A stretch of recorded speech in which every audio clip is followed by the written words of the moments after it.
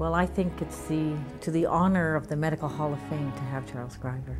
There's an expression in French that we reserve uh, for very few people when we say c'est un grand homme. And grand incorporates all the facets of, of, of life, uh, both that life as an art and life as a science, um, in one person. Since the very beginning of his career, Charles Scriver has been a different kind of scientist with a different way of looking at things.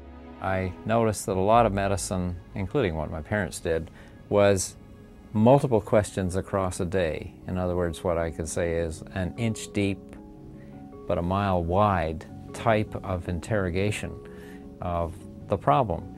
And I found I was interested in why does this person have this disease now? And I wanted to go maybe an inch wide but a mile deep. And I recognized somewhere along the line that that was allied to a research approach rather than a practice approach. He's an intellectual, not just a scientific intellectual. He reads everything. Uh, in fact, I think he had an undergraduate arts degree, I think was in geography. So his mind is really uh, capable of understanding all kinds of areas, and he uses those areas in his research. Early in his career, this interdisciplinary approach to research led Dr. Scriver to ask a question Is all genetic disease really incurable? Well, I think what he has done is brought the research from the laboratory to the patient. Uh, based on investigations that he has performed, he has gone ahead and developed screening programs, uh, programs which enable us to prevent genetic disease, not just treat, but to prevent disease. I spent two years learning to do chromatography, which is an analytical technique that identifies particular individual chemicals in solution. And I recognized that you could use that tool as a screening mechanism to uh, detect chemical individuality in the urine and blood of people. So I was already conditioned to think about tools that would screen and find problems. When I got back here at McGill, uh, there was a buzz around amongst the small community of us around the world that maybe you could do tests in the newborn to pick up these inborn errors of metabolism that affected children, and if you got to them early enough, you could initiate treatment and so forth. So, with a colleague who came and joined us in 1963, Mrs. Carol Clow, we did the pilot study for Quebec that led to the introduction of the Quebec network of genetic medicine when Claude Laberge and I and others put together this program.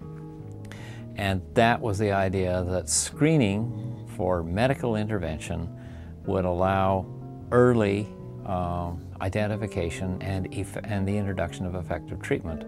He's also quite an active political campaigner for what he thought uh, the communities wanted. He definitely did not lack nerve when it came to contacting government officials and telling them that their science was wrong or their, where they were heading in terms of cutting back or doing this or being afraid of something uh, uh, what was, was wrong or whatever. So he had no, no fear of, of, of you know, the hierarchy or the way that things, uh, the status quo.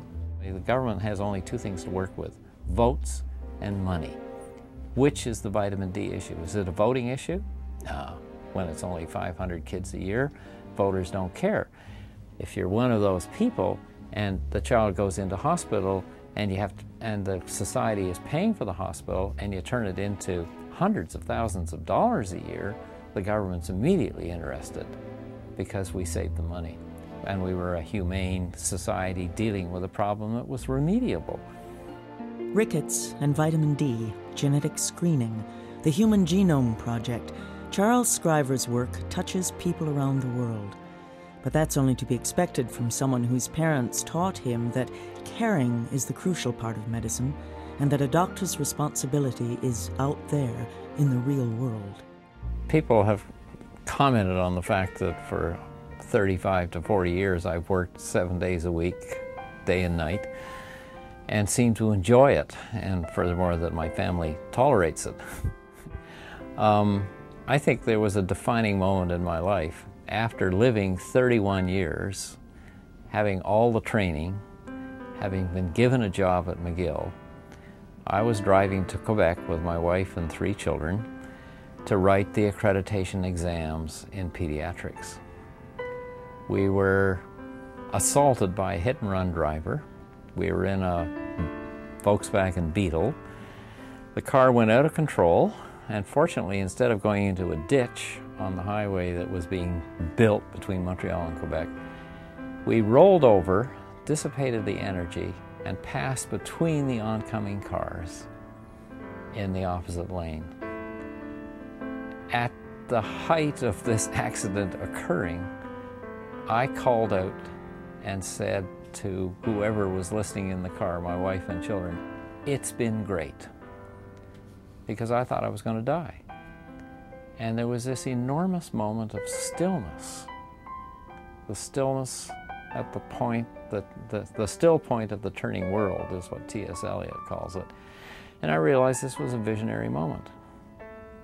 And when it was over, and I was still alive, and our family was all alive, and our car was upside down and kids falling out of the broken back window and so forth, I realized that I'd been given another chance and I'd better use the rest of my life.